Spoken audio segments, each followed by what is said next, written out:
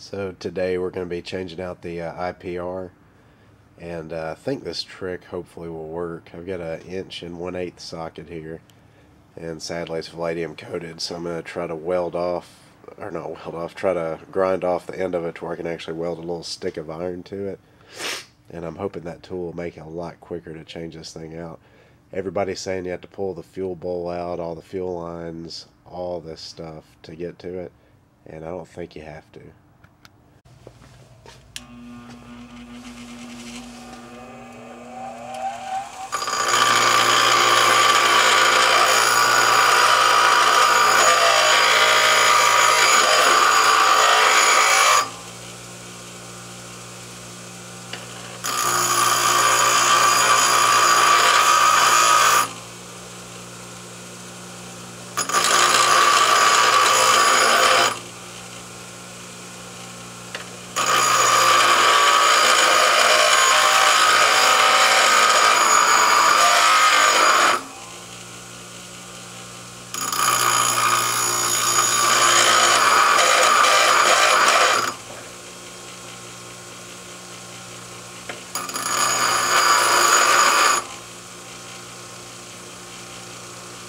That should be pretty good for us to be able to weld our stick to it, but I'm going to go just a little bit more to make sure.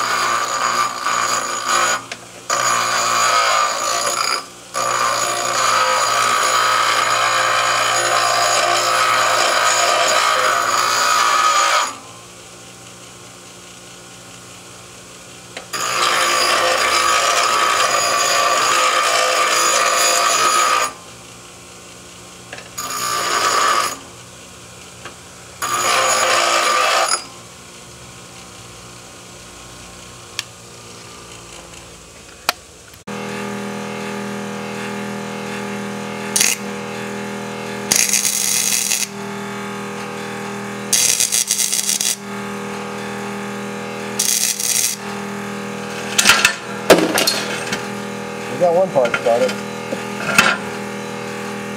Stop, I'll take that.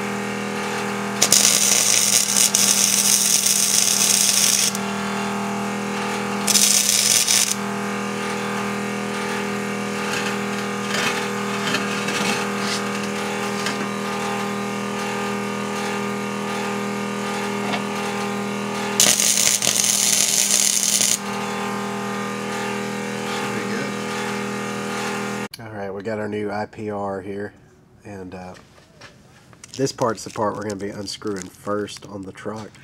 That way the whole thing can come apart. We'll it back with the original Motorcraft. So here's our fuel bowl, and the part we're looking for is that part right there. Trying to get that nut off. And we'll see if our little trick's going to work.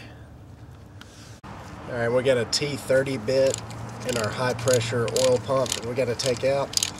And we're going to attempt to drain this fluid the oil that's in it before we take out the IPR sensor because I'm kind of scared. If we don't then we'll put about a quart of oil in the valley of the engine. So we got this beautiful thing out of a dial soap bottle then we're going to find us a bottle that we can just pump it out of. I'm hoping this will work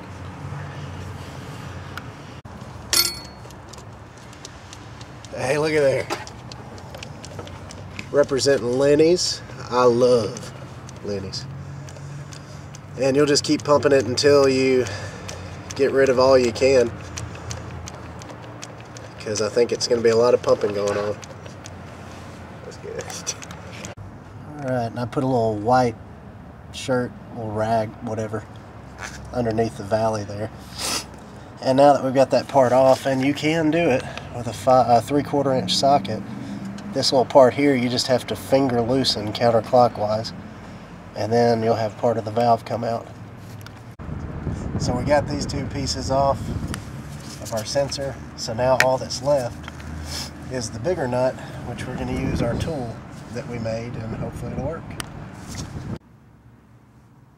And you might end up having to taper it out a little bit. Wish I would have known that before we welded it.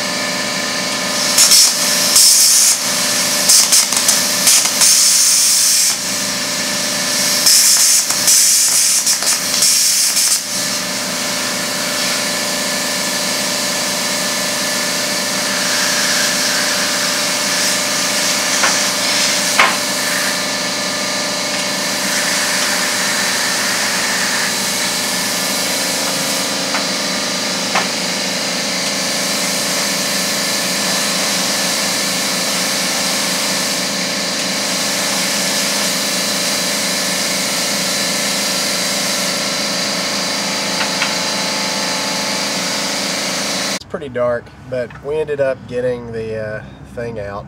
And you can use that special tool. You don't have to remove any lines, any fuel pump, anything else. And we've got the uh, ICP sensor here. I think that's what it's called. We're about to replace it, and it ends up going. Let's see if I can hop up in there and take the camera. It takes a one and one sixteenth inch wrench to do it. Let's see if I grab it from Sir Thomas. That sensor, and it is very dark. Let's see if our camera will even adjust to it. The sensor is right here. I don't know if it's giving me much help at all. But it's right on the driver's side head. There we go. It's got perfect lighting on it. And we just take that out. We're going to switch it out. Looks like mine's covered in oil. Hoping that's the reason I don't have much power. This is before we changed out the ICP and the IPR. So you can see you got your engine RPM on the top. The injector control pressure is about third one down. You can kind of see. So this is when I was stomping it extremely hard. I got up to 2400 RPMs. My PSI only got up to 1976.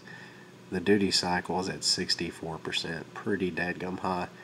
So it looks a lot better after we changed out the sensors and my check engine light actually has uh, not came on anymore saying that the injector control pressure was higher or lower than what it was supposed to be.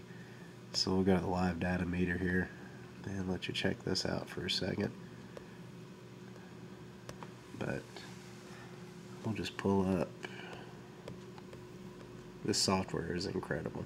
We'll do the engine RPM, the control pressure, and volts duty cycle. This will be the first five. And actually, this is when we were driving in the truck. But readings were so much better after we change everything out. Especially between getting the actual pressure up. I mean, we weren't crawling much above 2,000. We're having those spikes when I was hitting right at three grand in between shifts. And the duty cycle getting up in the 60s was just crazy. I mean, engine's doing a lot better without it. I mean, with the new ones. So this is after we replaced the uh, ICP and the IPR and this was AutoEnginuity using it to measure some readings. Our injector control pressure is the very first one and the fourth one's engine RPM but this one we were stepping on it pretty good. We were at 2500 psi on the injector pressure and uh, 2400 RPMs and we were doing a duty cycle of 39.84 which was much better than the last thing and on the uh, very bottom here I had our exhaust back pressure. And it was at a 24.61 floored. And that was after we had cleaned it